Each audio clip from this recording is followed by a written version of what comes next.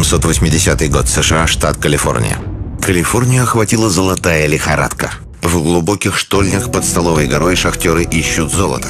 Неожиданно они откапывают множество древних каменных артефактов. Хорошо сохранившиеся орудия труда, наконечники копий, каменные ступки и пестики найдены на большой глубине в очень древних слоях. О поразительных находках сообщают ученым. Геологи изучают таинственные артефакты и убеждаются в их подлинности. Но датировка кажется просто невероятной.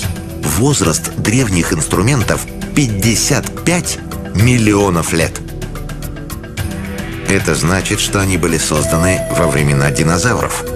Главный геолог штата Калифорния профессор Джон Уитни публикует официальный отчет об этих открытиях. Он приходит к выводу, что в Северной Америке люди существовали десятки миллионов лет назад. Факт то, что в определенный промежуток времени э, люди и динозавры сосуществовали вместе. Современная наука, конечно, категорически отрицает этот факт. Но только после признания этого факта мы можем говорить о вопросах датировки, когда это было, почему это было. Но другие ученые не принимают вывода геолога.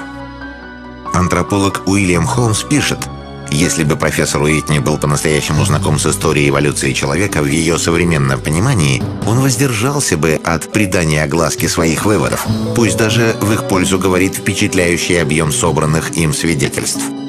То есть, если факты не согласуются с общепринятой теорией, то тем хуже для фактов, несмотря на их объем. Но неужели род человеческий настолько невероятно древний, и почему многие антропологи не желают это признать?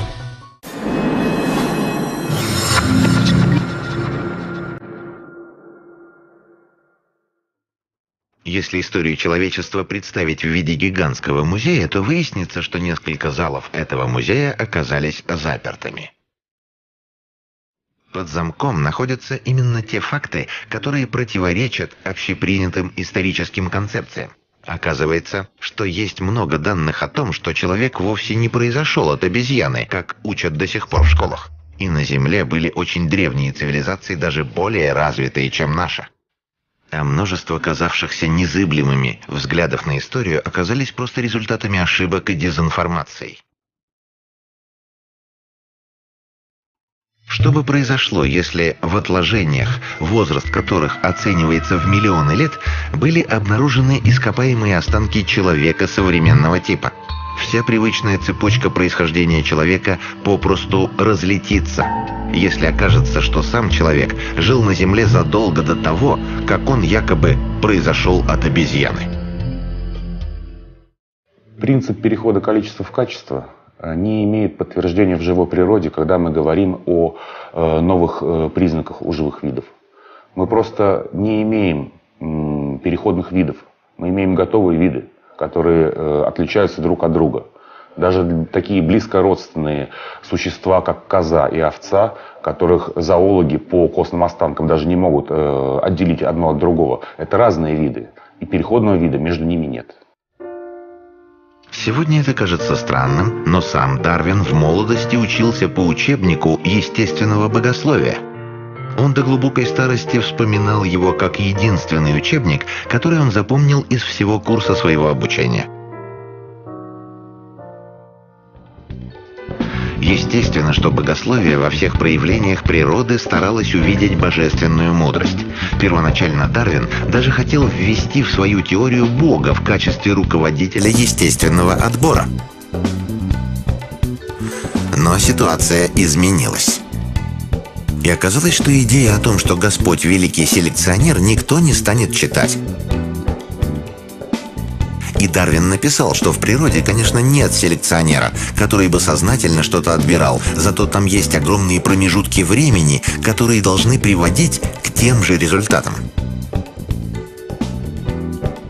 Ну, казалось бы, если ты предлагаешь такую совершенно новую и совершенно неочевидную трактовку основного фактора в, твоей теории, надо предложить какие-то аргументы в пользу того, что это явление в природе есть. Историки выяснили, что до Дарвина более 200 ученых и даже богословов писали статьи об эволюции и более 50 про эволюцию путем естественного отбора. И если бы Дарвин запоздал со своей книгой хотя бы на год или два, то теория эволюции сейчас просто не называлась бы дарвинизмом. Он был первым, кто опубликовал свою книгу на эту тему. Дарвин объяснял очень слабую, как он сам понимал, аргументированность своей книги тем, что был вынужден издать ее очень спешно.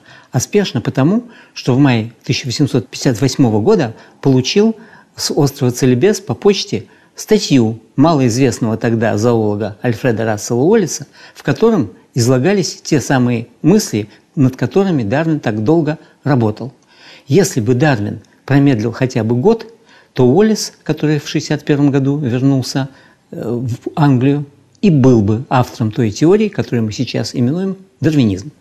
В 1859 году выходит книга Чарльза Дарвина «Происхождение видов», Спустя всего 12 лет большинство ученых и образованной публики в Англии уже считает смехотворным ставить под сомнение то, что человек является потомком обезьяноподобных существ. И это вопреки тому, что в происхождении видов сам Дарвин только кратко затронул вопрос о корнях человечества, отметив в конце, что свет на происхождение человека и его историю будет пролит лишь в будущем. Под эволюцией мы понимаем – все-таки происхождение экосистем, то, каким образом виды сосуществуют друг с другом. Для этого в дарвинизме нет даже языка. Там есть разговор только о том, как из одного вида происходит другой. Может ли вид сам улучшаться без селекционера? Сам Дарвин прекрасно понимал, что на этот вопрос может быть дан только отрицательный ответ. В происхождении видов говорится, что даже простым фермерам всем хорошо известно, что если допустить свободное скрещивание, то весь результат селекционной работы будет потерян. То есть Дарвин прекрасно понимал, что естественный отбор и искусственный – два совершенно разных процесса. И они не могут привести к одинаковому результату. Тем не менее, он смешал их вместе, поскольку никакого другого варианта у него не было. Если мы посмотрим на живую природу, мы увидим, что э, факта борьбы за выживание как такового в природе нет. Животные, растения, они сосуществуют друг с другом. Посмотрим на саванну, увидим, как э, антилопы спокойно пасутся рядом со львами или с гиенами. Только когда хищник голоден, он нападает на травоядное животное, чтобы питаться а так они сосуществуют. Разговор идет не о том, верен дарвинизм или не верен, хотя из сказанного более или менее ясно, что он скорее не верен, а в том, что мы под эволюцией понимаем не то, что понимал под эволюцией Дарвин. И все же Дарвин в своем труде «Происхождение человека», изданном в 1871 году, уже приходит к выводу, что человек – потомок волосатого, хвостатого и четвероногого существа, жившего на деревьях. Но это смелое по тем временам заявление грешит отсутствием самого главного. Нет никаких доказательств, то есть ископаемых останков, которые могли быть связующими звеньями между древними обезьянами и современным человеком. То есть обществу предлагают принять весьма спорную гипотезу, как теорию, и обещают найти связующее звено в обозримом будущем. По Дарвину виды происходят одним единственным способом. Сначала внутри вида образуются различные расы, каждая из которых, из тех, которые выжили, образует новый вид. Точно так же новые роды происходят из прежних видов, новые э, семейства из родов и так далее. Этого механизма никто никогда не показал. Во времена Дарвина никаких останков, доказывающих эволюцию, найдено не было, за исключением пары черепов неандертальцев из Германии, до нескольких находок со строением современного типа. Этот аргумент вскоре использовали те, у кого утверждения Дарвина об обезьяноподобных предках вызывали неприкрытое возмущение. Среди исследователей, которые об этом говорили, были в первую очередь французские биологи XIX века Денуае, Арман де Кетрифаш, Дюбуа Реймон, Ле Буржуа, Аббат, Делане и многие другие. Некоторые из них были убеждены, что человек жил еще во времена динозавров – Однако сегодня их имена мало известны широкой общественности. Одно из возражений Дарвину на первое издание его книги заключалось в том, что он показал только, что внутри вида могут возникать новые расы и ничего больше, в то время как иллюстрация его результатов его механизма демонстрируется только на крупных различиях – новые роды, новые семейства и так далее. Дарвин на это так никогда ничего не смог ответить, и ситуация странным образом сохраняется до сих пор. Споры об эволюции идут уже более полутора веков.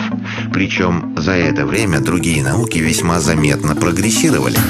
Физикам, например, сегодня смешно вспоминать, что ученые в XIX веке всерьез считали, что Солнце состоит из угля, а атомы — это твердые и неделимые кирпичики мироздания. Но консервативно настроенные биологи хоть и признают представления XIX века давно устаревшими, тем не менее, по сути дела, продолжают их придерживаться. В действительности начинать приходится с того, что, к сожалению, в настоящее время слова «эволюция» и «дарвинизм» многими, особенно в американской литературе, просто не различаются.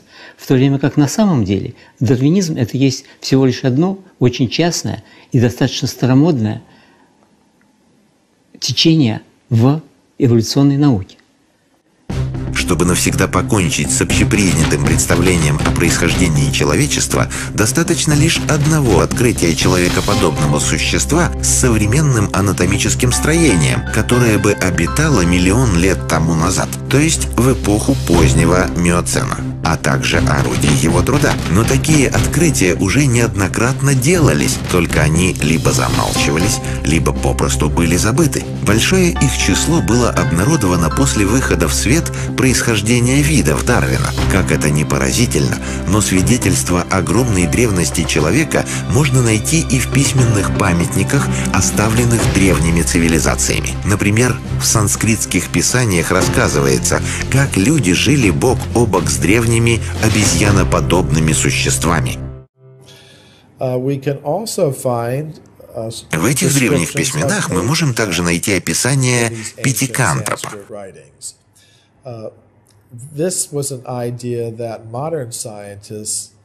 Такая идея у современных ученых появилась только после Дарвина который предположил, что люди произошли от обезьян и должны быть промежуточные звенья. Древние историки описывают существо, которое имеет тело обезьяны, но интеллект человека при низком уровне материальной культуры.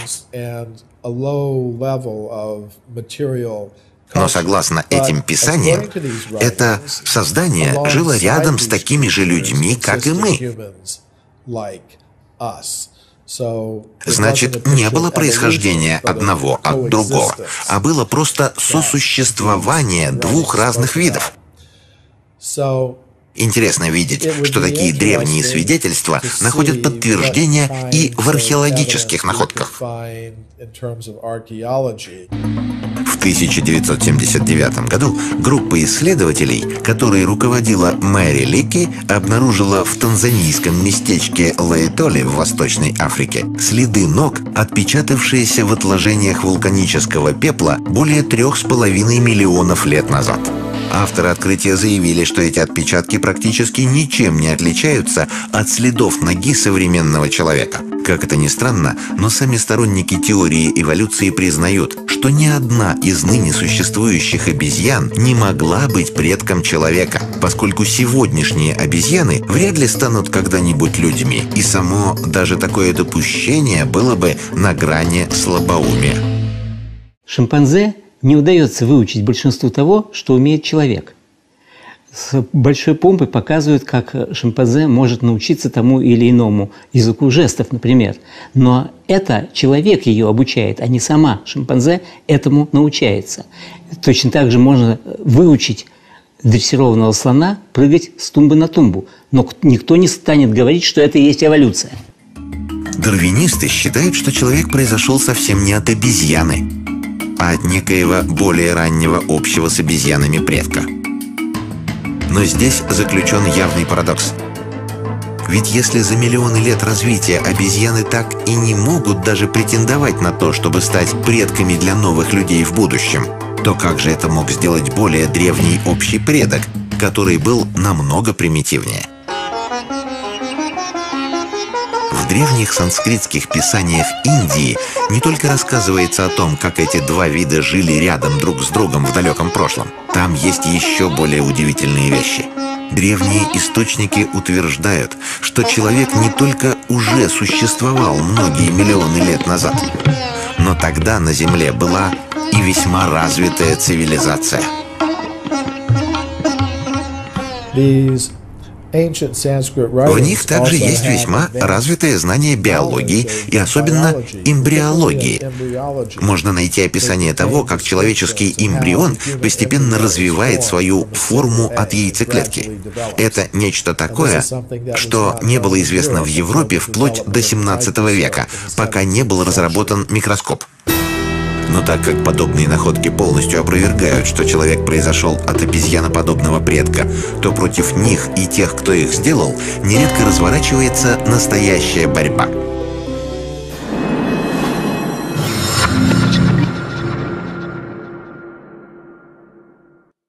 «1966 год. Центральная Мексика».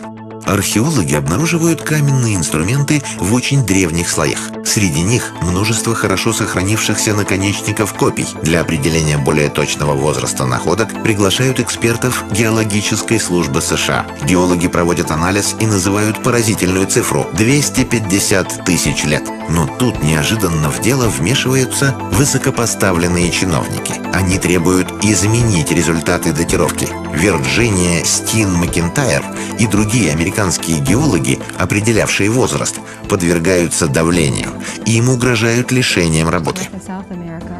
А в Америке, по их представлениям, человек появился 10-12 тысяч лет назад. Поэтому возражения археологов заключались в том, что не могли быть найдены инструменты, сделанные человеком в Америке, возраст которых 250 тысяч лет. Вирджиния отказывается идти на компромисс и требует публикации сенсационных данных. Но с аргументами ученые никто не считается. Ее лишают финансирования и не разрешают продолжать работу. За свою наивную честность и принципиальность она теряет работу преподавателя в университете и расплачивается сломанной на всю жизнь карьерой. Даже при наличии фактов никто не собирается менять господствующую теорию. Все равно нам придется менять всю систему антропогенеза, поскольку принято считать, что на американском континенте человек появился только тогда, когда смог перейти во время оледенения через Берингов перешейк. Однако в, на американском континенте существуют более ранние находки следов деятельности культурного э, существа, которые все равно надо как-то объяснить. Но если так относятся к находкам, чей возраст лишь сотни тысяч лет, то еще большее сопротивление со стороны консервативных ученых вызывают открытие артефактов во много раз древнее. А есть и такие свидетельства, которым многие миллионы лет. Есть множество доказательств того, что человек жил еще во времена динозавров. Отпечатки ног человека не раз находили в окаменевшем иле рядом со следами динозавров, в слоях, имеющих возраст свыше 100 миллионов лет. На протяжении 19 и в начале 20 столетия ученым неоднократно попадались в удивительно древних геологических формациях не только многочисленные каменные орудия и прочие предметы материальной культуры, но и скелетные останки людей с современным анатомическим строением. Подобные находки поначалу привлекали достаточно внимания, но теперь они почти неизвестны. Чем же мотивирована такая позиция официальной науки? И что она так заботливо скрывает от общественности? Ведь всем хорошо известно, что те, кто скрывают факты, должны будут рано или поздно за это ответить. В XIX и XX веке далеко не все биологи разделяли взгляды Дарвина на эволюцию человека – те, кто пропагандировал его идеи, столкнулись с серьезным сопротивлением не только в среде ученых, но и в обществе. Дело не ограничивалось только диспутами, иногда оно решалось в судах. Например, политика в американском образовании решена в каждом отдельном штате. Но это не общенациональная политика. Во многих регионах большинство людей желают быть осведомленными об альтернативе дарвинизму в учебниках. Но сторонники официальной теории обращаются в Национальный суд. И затем уже один судья будет решать вопрос, является ли конституционным иметь альтернативу дарвинизму в учебниках или нет. Таким образом, один судья будет определять мировоззрение для большинства людей.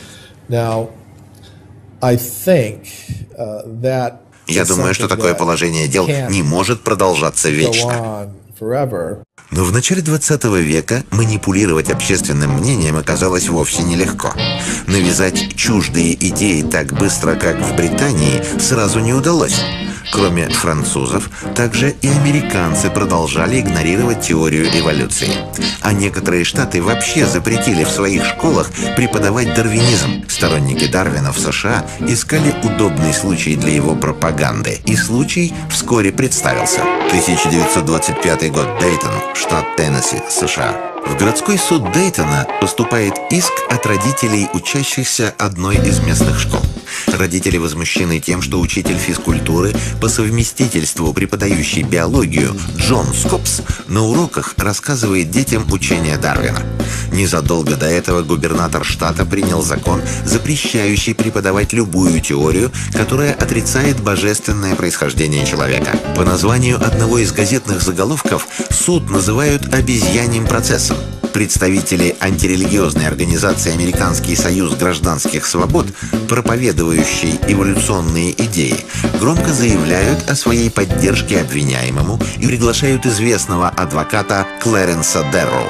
Судебные заседания вызывают широкий резонанс в обществе. Религиозная община требует покарать безбожника и защитить подрастающее поколение от ему подобных. Качестве прокурора приглашают знаменитого Уильяма Брайана, сенатора из Небраски, бывшего госсекретаря США. Заседания суда проходят при большом стечении народа и журналистов. Трансляция впервые в судебной практике передается в прямом эфире по радио. Статьи о процессе публикуются во всем мире. Прения сторон превращаются в войну идеологий. Страсти накаляются до предела качестве свидетелей защиты приглашают прогрессивных ученых, которые рассказывают суду о пилдаунском человеке, обитавшем в Англии, о наличии якобы в человеческом организме в большом количестве бесполезных органов, унаследованных от эволюционных предков и прочие такие же вещи, которые всего через полвека были признаны самой наукой наивными заблуждениями. А пилдаунский человек оказался откровенной фальсификацией. Фальсификации есть во всех науках. Их совершают чаще бессознательно, но иногда и совершенно сознательно, чтобы получить некоторые преимущества. Однако к науке это не имеет никакого отношения. Но при этом ни адвокаты, ни свидетели защиты не стесняются в выражениях, вовсе не опасаясь быть оштрафованными за оскорбление оппонентов или неуважение к суду, так как их покровители все оплачивают. Главным козырем защиты является недавно обнаруженный якобы предок человека Гесперопитек. Несмотря на то, что этот облик был создан всего лишь по одному только найденному зубу, прогрессивные ученые без тени сомнения признают его своим предком. Однако, несмотря на такие доказательства, ни прокурор, ни прочая общественность не соглашаются признать предка в хвостатых созданиях. Адвокат, исчерпав все аргументы, в порыве гнева обвиняет судью в приверженности мракобесию и измене американским свободам. Суд бывает вынужден наказать не только обвиняемого, но также и его адвоката за оскорбление суда – Защитнику тут же прямо в зале оказывается финансовая поддержка. Видя, что дело идет вовсе не о нарушении закона, прокурор Брайан готовит свою обвинительную речь о самом дарвинизме. Собрав справочники и научные статьи, он готовит заключительную речь о несостоятельности доказательств теории эволюции – Узнав об этом, защита меняет тактику. Брайан – известный политик и никогда не писал пустых речей. Ни в коем случае нельзя допустить, чтобы его речь прозвучала и попала в печать. В самый кульминационный момент адвокат Дерро неожиданно приносит свои извинения за неуважение суду и признает обвинения в адрес подзащитного обоснованными. Непосвященные в планы пропагандистов присяжные и рядовые зрители не могут понять такой резкий поворот от ожесточенного сопротивления сразу к полной сдаче. Тем не менее, цель достигнута, и речь Брайана так и не прозвучала. Опубликованные по всему миру материалы суда включают лишь показания свидетелей защиты в пользу эволюции человека – что создает у неискушенных людей впечатление полного отсутствия контраргументов у противников этой теории и бюрократического произвола над преподавателем. Обвиняемого признают виновным и приговаривают вместе с адвокатом заплатить серьезный штраф. Однако настоящими жертвами этого процесса оказываются вовсе не они. Тяжелее всех приходится расплатиться прокурору. Уильям Брайан, уже пожилой человек, не выдерживает такого количества издевок и оскорблений, которые рьяные сторонники недоказанной теории бросают его адрес. Он понимает, что его противники смогли добиться своей цели и не дали ему озвучить свой готовый ответ им. С сенатором, выигравшим дело, вскоре от переживаний случается сердечный удар. Тем не менее, формально атеисты наказаны. Знаменитый американский режиссер Стэнли Крамер в 1960 году снял фильм об этой истории, который называется «Пожнешь бурю».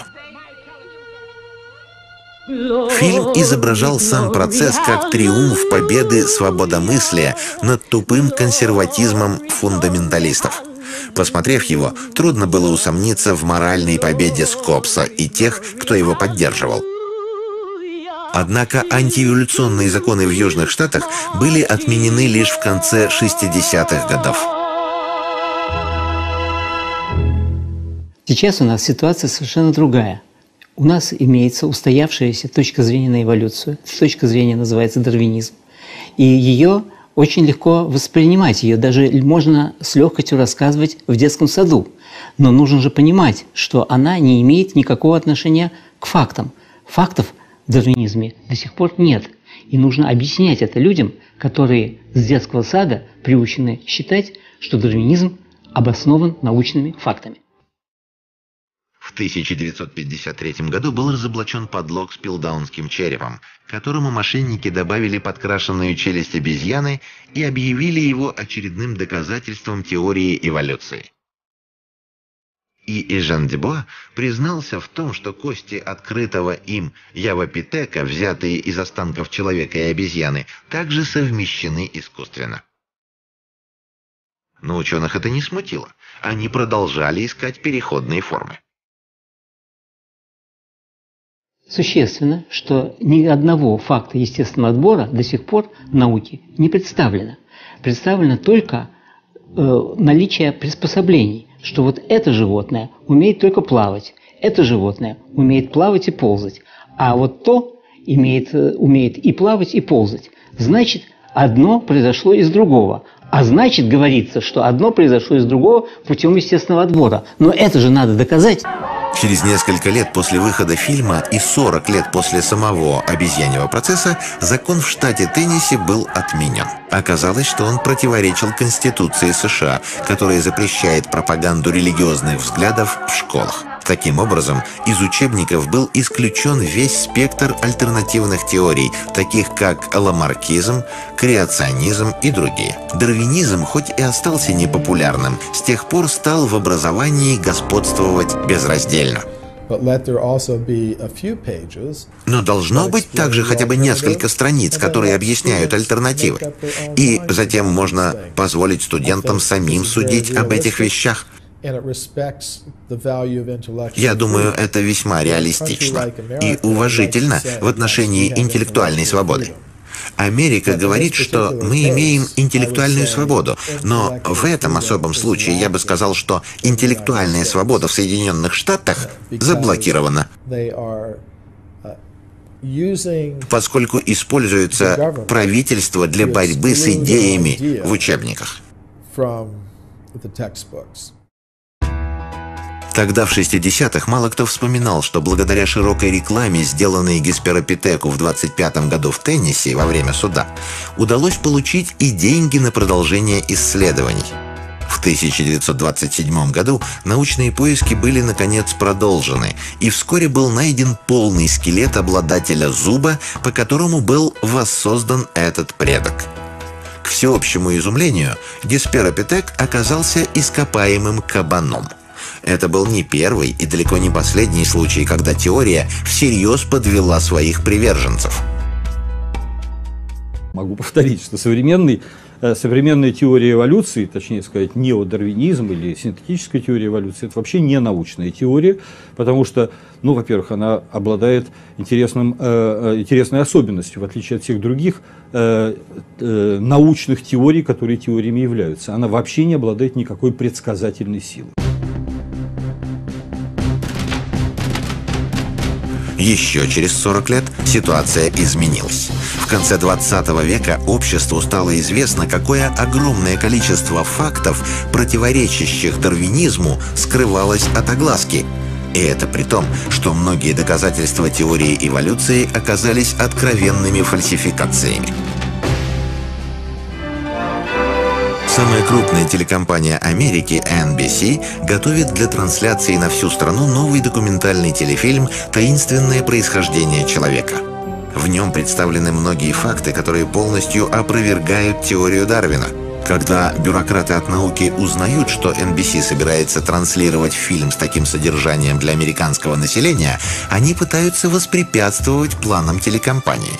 Но поскольку им приходится иметь дело с независимыми журналистами, то помешать демонстрации не удается. Фильм о нерешенных до сих пор наукой загадках происхождения человека выходит в эфир. Множество и простых людей, и ученых узнают, как много самой же наукой сделано открытий, которые полностью опрокидывают привычные со школьной скамьи представления об эволюции человека.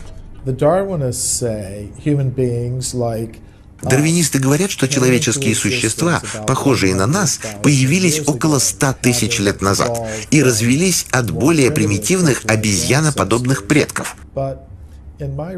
Но в моих исследованиях я обнаружил, что археологи сделали массу открытий, показывающих, что люди, подобные нам, существовали на Земле многие миллионы лет.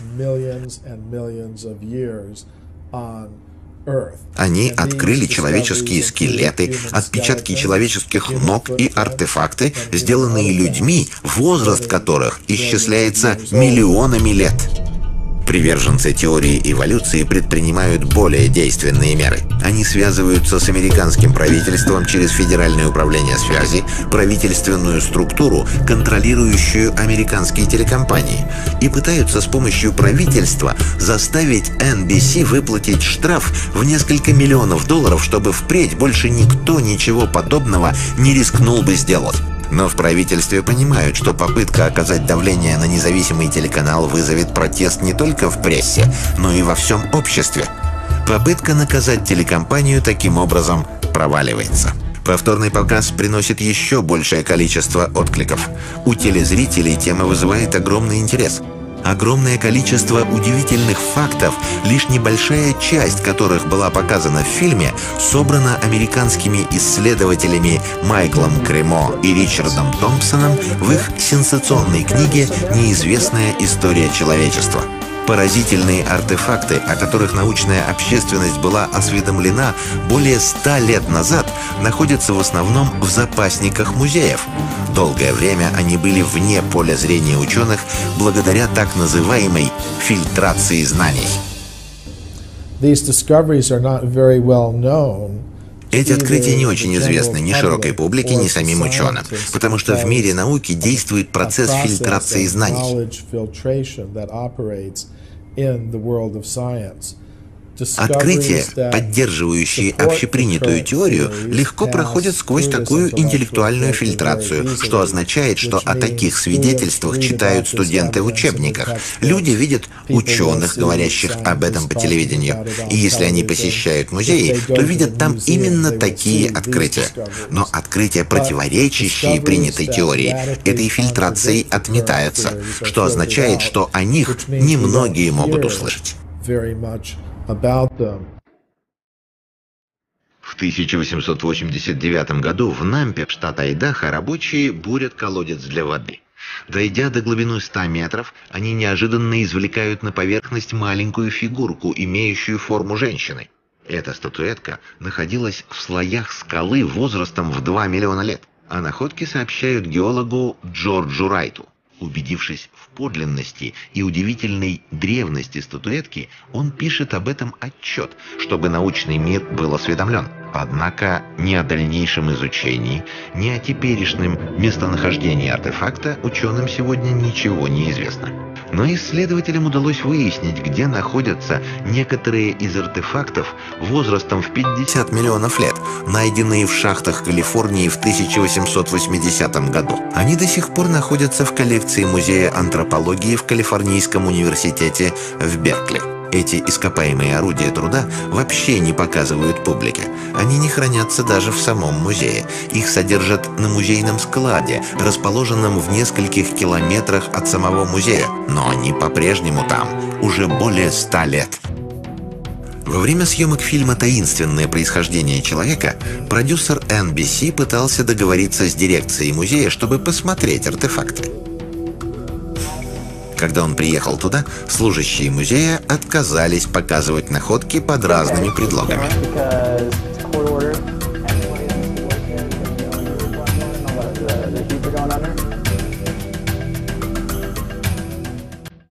Когда снимался фильм, Майкл Кремо работал над отчетом о находках в калифорнийских золотых приисках для Всемирного археологического конгресса. Всемирный археологический конгресс – это крупнейшая в мире международная организация археологов, в которой состоят многие именитые ученые. Благодаря этому директор музея решил позволить ученому изучить и запечатлеть на фотокамеру эти артефакты. На такие аномально древние находки скептики обычно возражают, что могла иметь место ошибка в датировке, так как при определенных условиях объекты из более поздних верхних слоев могут попадать в более древние нижние. Такое может быть от потоков воды или проседаний горных пород. Однако в этом конкретном случае такие допущения неуместны. Столовая гора в Калифорнии покрыта шапкой из застывшей лавы. Именно под слоем лавы и были найдены эти орудия. Изучив в музее старые карты доктора Уитни, Майкл Кремо отправился в горы Калифорнии к Столовой горе. Ученый и его коллеги смогли отыскать древние золотоносные шахты, в которых были обнаружены эти объекты и провели там свои исследования. Эти находки подтверждают, что происхождение человека все еще является загадкой для науки. Существуют еще более поразительные находки, которые подтверждают и такие, на первый взгляд, фантастические даты, как сотни миллионов лет. В 1968 году Уильям Майстер обнаружил отпечатки обуви в Антилоп Спрингс в штате Юта. Этот след был найден в слоях скалистой породы, возраст которой по современным научным оценкам составляет 500 миллионов лет. Майкл Кремо вместе с Ричардом Томпсоном тщательно изучили этот отпечаток и обнаружили, что он в точности идентичен следу, оставленному обутой ногой современного человека. На фотографии даже видно, что каблук был изношен именно в том месте, где это всегда бывает. So, my Моя первая книга «Неизвестная история человечества» была именно о таких открытиях. После ее прочтения у многих появились вопросы, если мы не произошли от обезьян, как считают многие ученые, откуда же мы появились?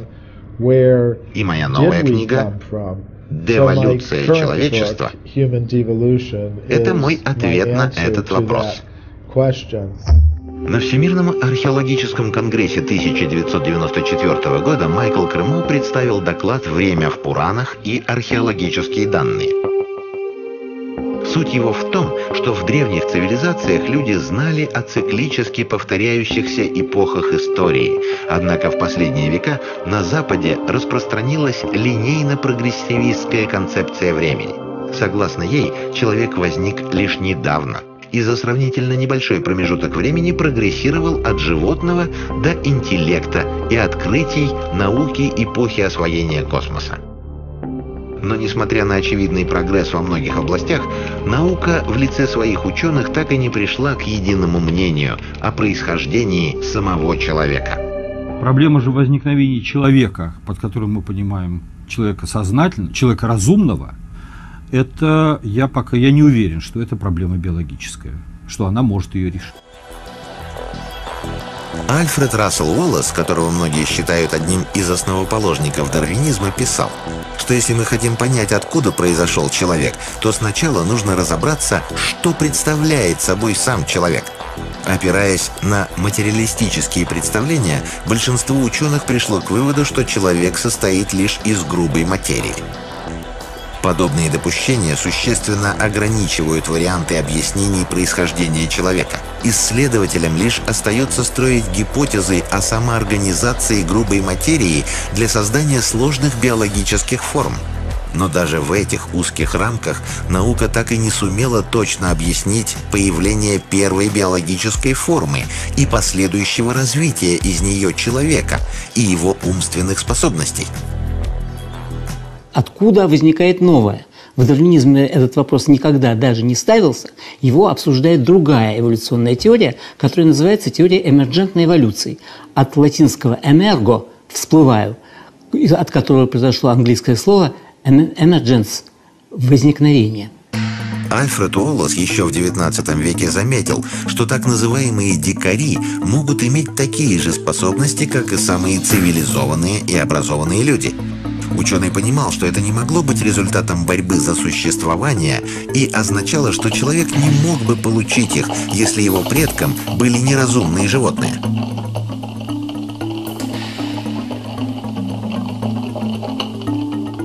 Он говорил, когда я жил в джунглях, я мог убедиться, что люди, живущие там, в интеллектуальном отношении не уступает среднему члену наших ученых обществ. И приводил такой пример – человек очень характерен способностями к науке, например, к математике. Но как может быть математика результатом борьбы за существование в обществе, в котором нет никакой математики? Моя новая книга «Деволюция человечества» — это мой ответ на этот вопрос. Если представить ее очень упрощенно, то мы не поднялись из материи, как считает сейчас большинство ученых. Скорее, мы спустились или деволюционировали из состояния чистого сознания. К концу 20 века ученые пришли к заключению, что Вселенная на 95% состоит из темной материи и такой же темной энергии. Астрофизики назвали их так потому, что мы никак эти субстанции не воспринимаем. Наши органы чувств могут улавливать лишь оставшиеся 5%. Еще древние мыслители понимали, что человек лишь частица мироздания.